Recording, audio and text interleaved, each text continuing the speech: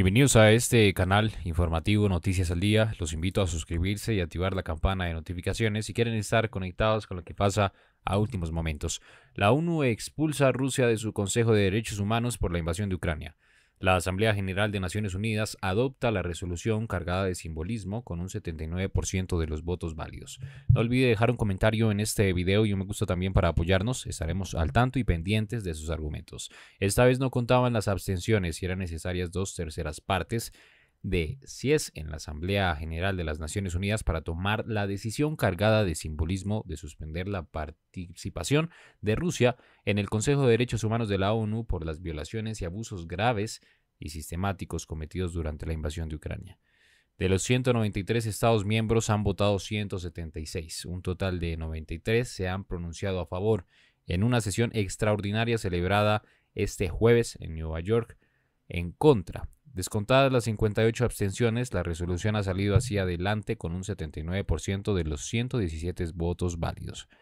La propuesta, que supone un revés diplomático para Rusia, la presentó el lunes pasado la embajadora estadounidense ante la ONU, tras conocerse las atrocidades presuntamente cometidas por el ejército ruso en Bucha, en ese suburbio al norte de la capital, Kyiv, que estuvo bajo el control de las fuerzas invasoras durante algo más de un mes, la retirada de las tropas este pasado fin de semana dejó tras de sí decenas de personas en las calles y bueno, bastantes cosas terribles que ocurrieron en este caso de Bucha. Esos actos fueron descritos por el presidente de Estados Unidos John Biden como crímenes del conflicto y por su homólogo ucraniano Zelensky tras una visita a la zona como las pruebas de un de, algo grave. Moscú sostiene que todo es un montaje pese a las evidencias en contra, los relatos de los testigos y de los periodistas sobre el terreno y las imágenes por satélite. ¿Qué opinan de esta noticia? Nuevamente los invito a suscribirse y activar la campana de notificaciones. Gracias por estar acá. Noticias al día. Señora Presidenta, Presidenta, en primer lugar quisiéramos felicitarla por haber asumido la presidencia del Consejo en este mes y al mismo tiempo quisiéramos dar las gracias a la embajadora Bey así como al equipo de los Emiratos Árabes Unidos por su trabajo destacable mientras presidían el Consejo en el mes de marzo. Señora Presidenta, el aumento de las tensiones en Ucrania y el acabar cuanto antes con los combates es lo que espera urgentemente la comunidad internacional y el deseo de China. En muchas ocasiones hemos recalcado que el diálogo y la negociación son la única manera de salir y abrir la puerta a la paz. Rusia y Ucrania ya han celebrado muchas rondas de negociaciones. Nos eh, animamos a las dos partes a respetar eh, la dirección de las negociaciones, a superar dificultades y a seguir asentando las condiciones para que haya una solución integral a la crisis. La comunidad internacional debería crear condiciones favorables y un entorno adecuado para las negociaciones entre ambas partes, abrir espacios para la solución política y no debería instaurar obstáculos para aumentar la resistencia a que llegue la paz y menos aún avivar ese fuego que agrava la confrontación, confrontación había que hacer todos los esfuerzos posibles para evitar que aumente ese conflicto localizado. China confiere gran importancia a la situación humanitaria de Ucrania y apoyamos todas las iniciativas y medidas que eh, vayan destinadas a aliviar la crisis humanitaria en Ucrania. Mientras sigue desarrollándose este conflicto, pedimos a las partes que respeten el derecho internacional humanitario, protejan y garanticen la seguridad de los civiles y sus instalaciones, minimicen las víctimas civiles y se cercioren de que haya una evacuación segura y un acceso a través de los corredores humanitarios y que garanticen que se respetan los derechos básicos de mujeres, niños y combatientes heridos.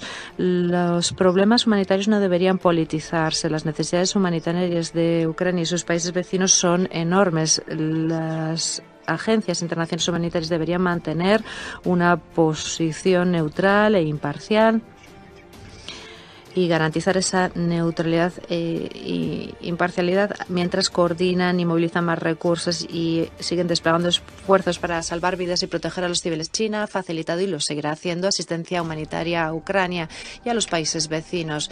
En virtud del derecho internacional, los civiles deberían mm, quedar exentos de sufrir violencia en los conflictos armados. Cualquier ataque contra los civiles es inaceptable y no debería producirse.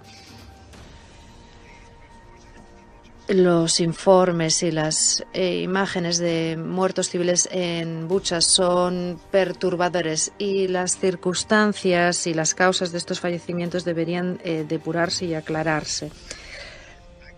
Cualquier acusación debería basarse en hechos. Antes de sacar conclusiones, las partes deberían actuar con cautela y evitar acusaciones infundadas tiene que hacer gala de autocontención. Señora Presidenta, como indicó el señor secretario general Guterres, los efectos que se derivan de la crisis ucrania están teniendo un importante impacto en el mundo y los países en desarrollo en particular. Esto exige que nos centremos en este asunto y eh, que mm, reforcemos la gestión de esta situación.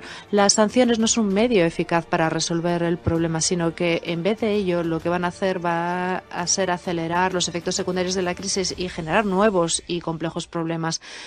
En la actualidad, con el profundo desarrollo de la globalización y eh, los estrechos lazos entre la comunidad de la humanidad, la aplicación de estas sanciones multidimensionales e indiscriminadas es equiparable a instrumentalizar, armamentizar y politizar la economía mundial, desencadenando graves crisis en materia de comercio, economía, financiación, industria, energía, alimentación y cadenas de suministro, entre otros, y está poniendo en peligro décadas de beneficios eh, alcanzados en la comunidad internacional y hace que todos los países y todas las personas estén pagando un precio muy alto.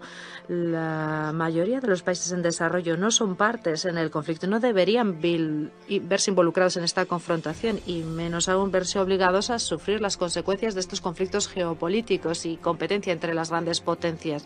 Las principales economías del mundo deberían responsabilizarse de gestionar el riesgo de que haya efectos secundarios de la crisis y mantener la estabilidad de los mercados mundiales, así como el impulso de la recuperación económica mundial. Señora Presidente, más de 30 años después del fin de la Guerra Fría, esta tragedia geopolítica eh, se está desarrollando en Europa y esto merece nuestra profunda reflexión. La soberanía y la integridad territorial de todos los países debería protegerse los países de tamaño medio y pequeño no deberían verse empujados a confrontarse con las grandes potencias. Todos los países tienen derecho a escoger su política exterior independientemente y no se les debería obligar a escoger eh, un lado u otro. La seguridad de todos los países es inseparable y no se puede alcanzar la seguridad de un país a costa de la seguridad de otros. Por eso pedimos a Estados Unidos, la OTAN y la Unión Europea que eh, mantengan un diálogo exhaustivo con em, Rusia para limar las diferencias acumuladas durante los años, encontrar soluciones a los problemas y promover eh, la creación de una seguridad o un marco de seguridad regional equilibrado y sostenible. En cuanto al tema de Ucrania, China no mm, trata de defender sus propios intereses geopolíticos